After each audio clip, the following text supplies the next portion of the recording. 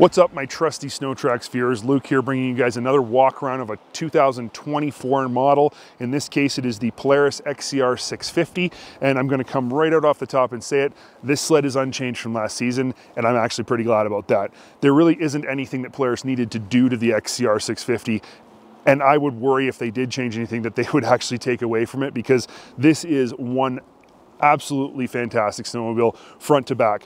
Um, obviously there's a new color scheme. Um, love it or hate it. If you like the, I guess the aqua color, I don't know what you call this. Polaris probably has some crazy name for it. I don't know what that is.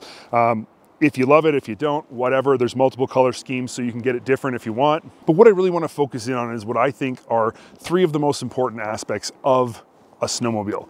Now, you, your ideas might differ from this, but these are mine.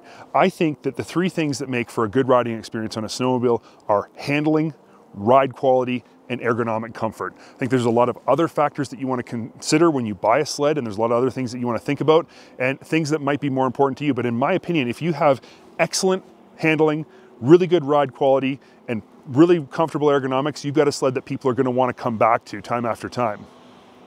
So with all that said, let's take a look at what this XCR is all about. Obviously, you've got Polaris's Race IFS up front, and that is the secret to how great this sled handles. Um, front end shocks are Walker Velocity needle shocks. They're called the high-low, meaning they have high and low speed compression adjustability. Um, they are great shocks. I don't know why Walker gets a bad rap in the industry. We've had never had a single problem with any of our Walker Evans shocks. They've always performed flawlessly, and I really like them. I think these ones work good. Um, I will say that on an XCR, I think it would have been beneficial to have rebound damping adjustability. These ones don't, um, but that's a small point and most people don't know how to use rebound anyway, so maybe it's better that way. Um, you've obviously got the Matrix chassis. That's what that's a given now with Polaris. Pretty much everything they sell is on the Matrix chassis for the most part, and we love the Matrix. The Matrix works great. Um, there's really almost nothing bad you can say about it. Out back, you've got a Pro CC skid frame, pretty standard stuff. This is the XCR version of the Pro CC, which means it has all kinds of like stiffening bits and pieces, and it's got different four-wheel rear axle. Um, this is something I talk about in my test ride, but um, this is a 128, and that still confuses some people for some reason. Um, they're not sure why it is that, but it's really quite a simple answer. This track is a 0.252 pitch track. It has a different driver. Um, the, the drive axle is a different size, which allows for that 2.25 pitch track. And, and the mathematical results of it all is that it ends up being 128 inches long. It's not because 128 is better. It's not because 129 is worse. It just ends up that way mathematically. So don't get caught up in the 128. Um, I like that Polaris has matched the color of the spindles, which is a very kind of almost translucent candy color with the, uh, the slide rails and the skid frame here. Um, it just looks really good. It carries the color all the way through. Again, maybe you hate that color. I can't control that. I think it looks pretty neat and pretty good. And I think if you had gear that had a little bit of that in it, it would look awesome. Um, something I'm noticing as I'm back here is uh, all Polaris sleds now come with a 12 volt outlet for charging. Um, so you can add your battery tender easily and it's right down here with a rubber cap on it. That's nice that Polaris has done that. You've got LED lighting all the way around. Excellent running boards. The running boards have big wide openings. They, they clear snow really, really well. They're incredibly grippy. These are some of the most grippy running boards in the industry. And I've never slipped off them, so that's a good thing. Cockpit wise though, um, this sled has got some kind of cool parts on it that your average VR1 doesn't. It has pro taper handlebars, has a little bit lower um, bar riser than a VR1. The VR1 is just slightly taller. Uh, it comes with the handguards, and these are different handguards than what Polaris has used before. The mounts for them are really sturdy, they're really stylish. I think they look really good. Whether or not they'd be durable in, an, in a rollover or something, that remains to be seen, but I think they look really, really good. Um, you have a magnetic tether, so that's something that uh, you don't get on all VR1s. Only the XCRs come with the magnetic tether, so that's something to think about. And of course, when you look up here, you have your 7S display um, an industry favorite. It works great. It is an option. You don't have to get the 7S on, on this sled. You can get this with just the regular message center gauge if you choose to. I think you're crazy if you don't uh, get the 7S because it offers so much usability, so many features that are just so good. And at the end of the day, even if you don't want to use the features, you still get a gauge that's bigger and has easier to read numbers and gives you a lot more information about your sled that is useful for day-to-day -day riding. Even if you don't care about GPS mapping and ride tracking and all that kind of stuff, you still get an easier to use gauge that gives you a ton of information that the message center doesn't give as clearly. Um, it also makes things like using your smart warmers, which is something else that this sled has, so much easier. You can adjust them right from the gauge. It requires almost no um, menus or anything that's right there. It's super simple and straightforward, and I really like that. Of course, your kill button throttle, that's all standard Polaris stuff. The switch gear's been around for a few years. It works good. It, it's nothing flashy about it. It's fine.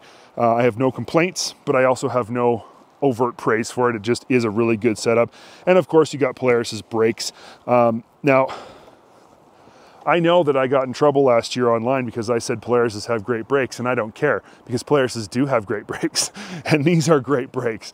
Uh, after spending a lot of time on this sled, these are the best brakes in the industry. Um, AJ and I agree. We've done multiple stories on multiple 600 class sleds, and you just can't get away from the fact that when you want to stop, the Polaris brake is, has the best feel, has the most modulation, the best power. It's just an excellent brake. It is also in its class right now, the only sled that still has a jack shaft brake and not a drive axle brake. And I think that's really interesting. Um, there is something that's lost when you put the brake down on the drive axle versus having it on the jack shaft. There is something there some level of feel, level of modulation that you just lose. And you know, this works good. I hope Polaris never changes it. Um, of course, you've got, as I mentioned, uh, you've got your storage thing under here, which is great. It's big enough for goggles. Um, you can put your baseball cap in there without it getting crunched, which is nice. Um, you can put all kinds of stuff in here. It's ex excellent. This is an excellent storage container and Polaris does a great job with that. And it's really thoughtful of them to include it. Now, what you're gonna notice though, that there's no windshield on this sled. And when you order a Polaris new, you, can only snow check an XCR. You can't buy one in season. So when you snow check, you automatically pretty much have to choose which windshield you want. Obviously, uh, our test unit came without one. And uh, if you choose that, you're crazy because this is not a very good setup. This is cold. Um, I don't like this at all. I would put at least the mid height on there or, or probably maximum the mid height. The mid height windshield from Polaris works excellent and that's the one I'd be putting on here for sure. So just a thought, um, just because it maybe looks cool does not make it functional and is not worth it. Um, the panels on this sled come off really easy. They're three quarter turn fasteners. That was one thing Polaris updated this season was they used a different type of plastic or durometer of plastic or rubber in the quarter turns. So these things here, um, that makes them easier to turn and manipulate, especially in cold weather. Now they're still extremely stiff, um, but they are easier. The old ones, you might have to use two hands sometimes or friggin' use a wrench in some cases because they were so hard to get twisted. These ones are much easier. And of course the hood still comes off with two Zeus fasteners, pops right off and you can get to your engine and compartment and everything else underneath there. So that's excellent. As I said before, this sled hasn't really changed. Um, it's the same as last season, so there's not a ton more to talk about. Uh, it is probably one of the most aggressive, playful sleds that you can get that still makes for an absolutely excellent, no compromise trail sled. If you want to crank up your shocks on this sled, you can go hit jumps and you can go hit bumps full speed and it'll take it. Uh, Levi LaVallee is a great example of that. I mean, he rides an XCR and he pushes it as hard as he wants through the bumps and it takes everything he can throw at it, never gives up. But if you're more a kind of rider who just wants the XCR because it says XCR, you can turn the shocks way down, soften them right up, and this thing will ride every bit as good as any VR1. In some cases, I might argue it actually will ride better because you do have high and low speed compression adjustability on the shocks. So that's something to think about. Of course, the Polaris has electric start. Pretty much every Polaris comes with electric start now. It's, it's the number one feature. Everyone checks that box. You're crazy if you don't. But unlike some of its competition, the Polaris still has a pull cord. So, you know, are we going the way of getting rid of pull cords on everything? I sincerely hope not. Polaris hasn't, and I think that's great. Um, again, not much else to talk about. This is just an all-around really good sled. I like it. Everyone who rides it really likes it. Actually, everyone who rides it loves it.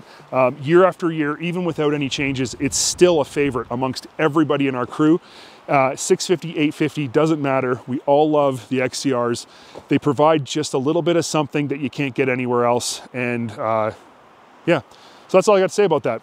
If you guys appreciated this, it's shorter than normal. Um, usually I go on for about 20 minutes. This case, it's a little bit shorter than that. Um, but if you like this walk around, make sure you click that like button. Um, if you like this style of video or walk around videos, make sure you, you subscribe to our channel because we have tons of stuff coming up all the time, a lot of walk arounds coming up.